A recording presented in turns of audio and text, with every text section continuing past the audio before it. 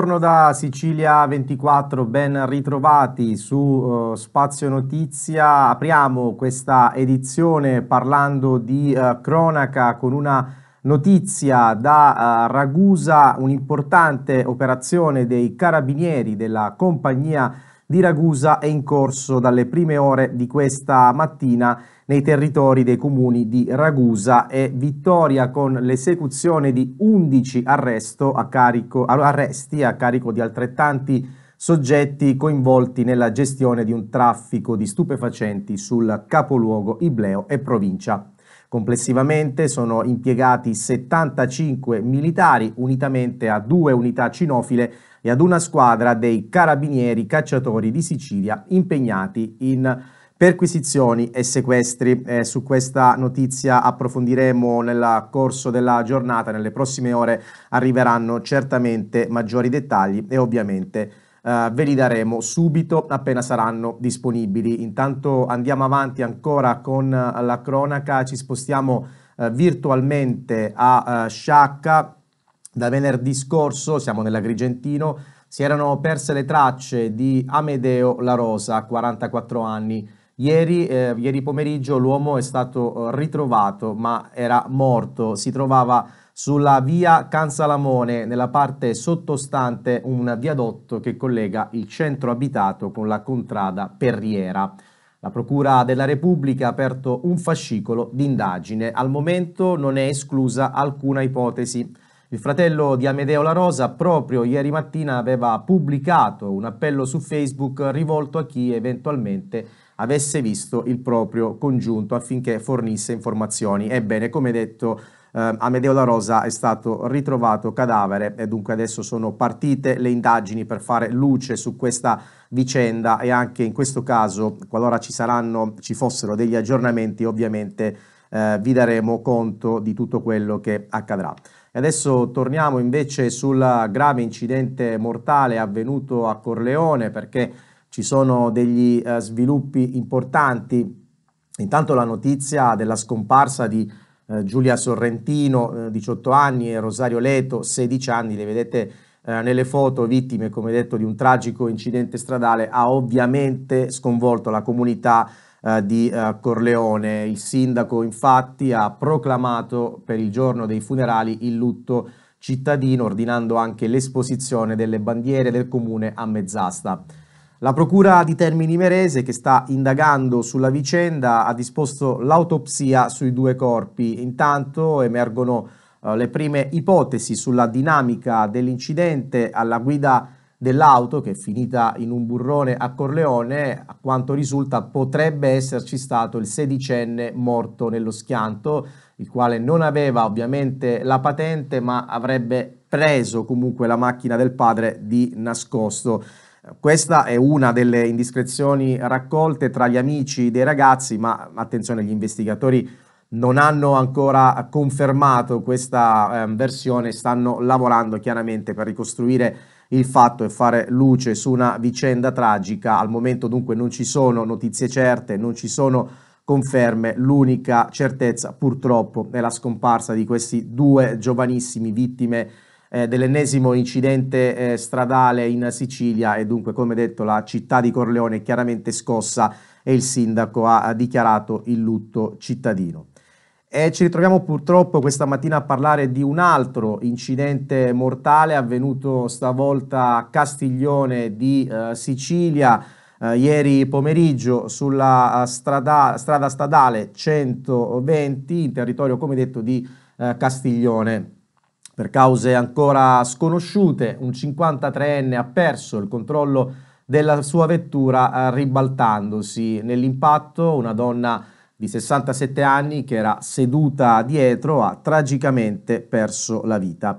Sul posto sono intervenuti i soccorritori del 118, i vigili del fuoco di Randazzo e diverse pattuglie dei carabinieri e personale dell'ANAS. Un'altra donna è stata trasferita in elisoccorso all'ospedale Cannizzaro di Catania, anche lei con ferite gravi. A causa dell'incidente la strada è rimasta bloccata per diverse ore e poi è stata riaperta in serata. Dunque Ci ritroviamo anche eh, questo inizio di settimana a parlare purtroppo di un weekend tragico eh, per le strade siciliane con eh, diversi morti. Questa eh, signora, come detto, a Castiglione di Sicilia di 67 anni, prima i due ragazzi, i due giovanissimi a Corleone, dunque un altro bilancio eh, pesantissimo nell'ultimo fine settimana. Parliamo ancora di cronaca, questa è una notizia invece che ci arriva da Trapani, una spedizione punitiva, pensate, una 29enne che attualmente si trova a casa in regime di arresti domiciliari è stato raggiunto nella propria abitazione nel quartiere popolare di Cappuccinelli ed è stato ferito alle gambe con alcuni colpi di pistola. Il ragazzo, credendo che si trattasse di un normale controllo da parte delle forze dell'ordine, come detto è ristretto a casa ai domiciliari, ha aperto la porta senza alcun sospetto, ma immediatamente è stato raggiunto dai proiettili che lo hanno colpito alle gambe.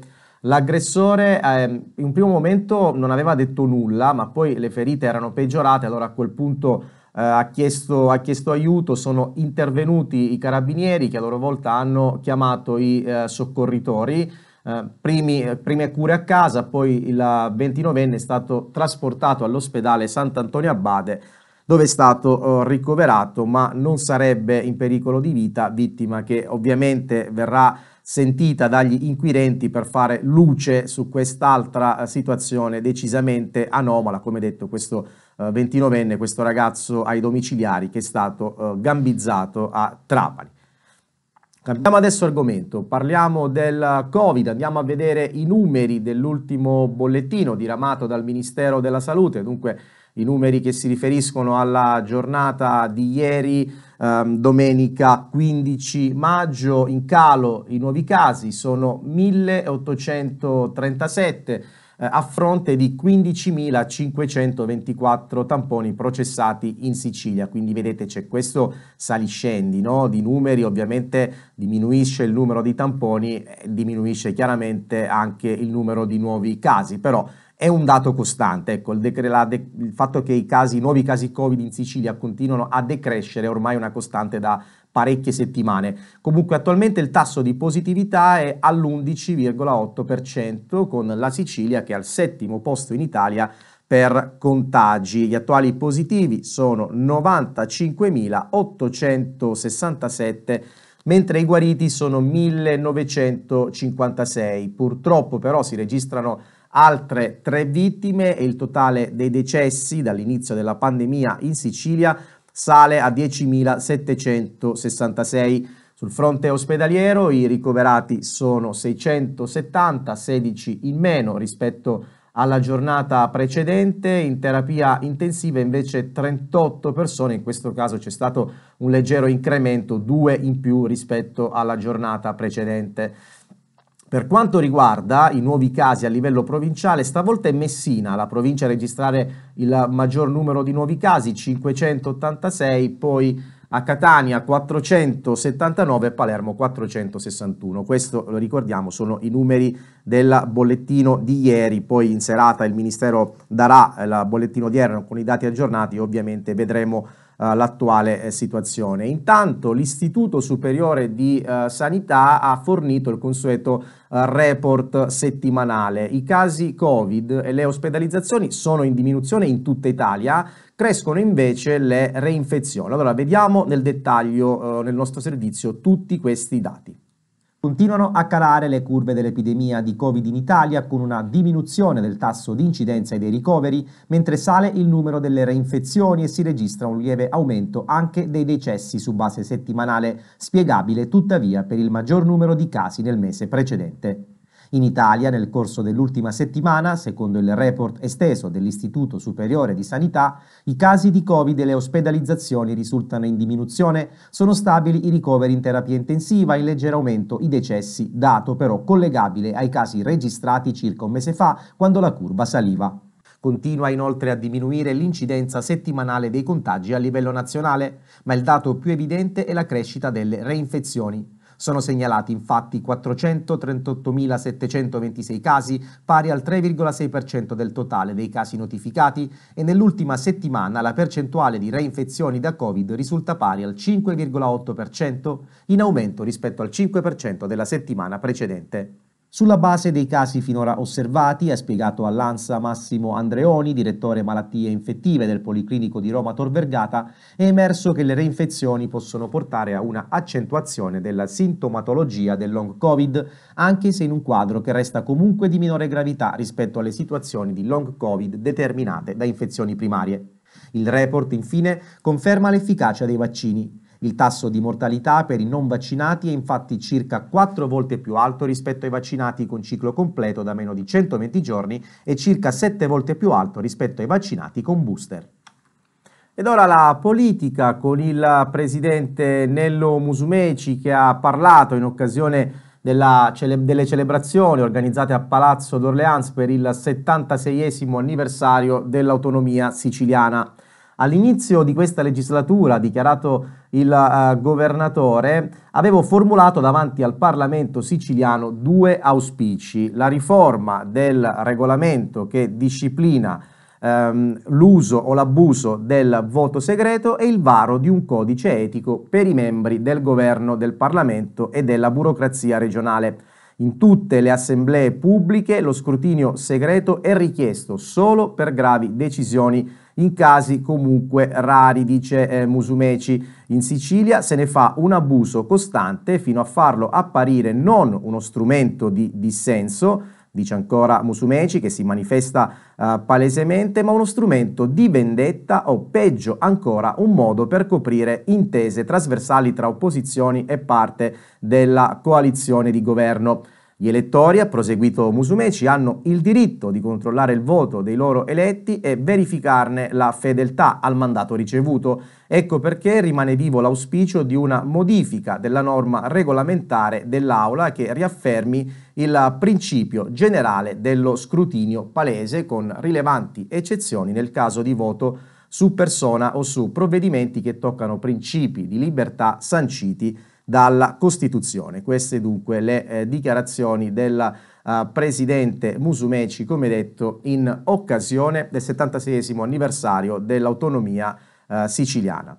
Cambiamo ancora argomento, sembra essere arrivata l'estate, ieri eh, tante persone hanno approfittato del caldo e della bellissima giornata per scendere in spiaggia, ma qual è la situazione? Beh, anche la Sicilia deve avere a che fare con l'uragano, con l'anticiclone, scusate, Hannibal, l'anticiclone africano che eh, farà alzare le temperature di almeno 8 gradi sopra la media del periodo.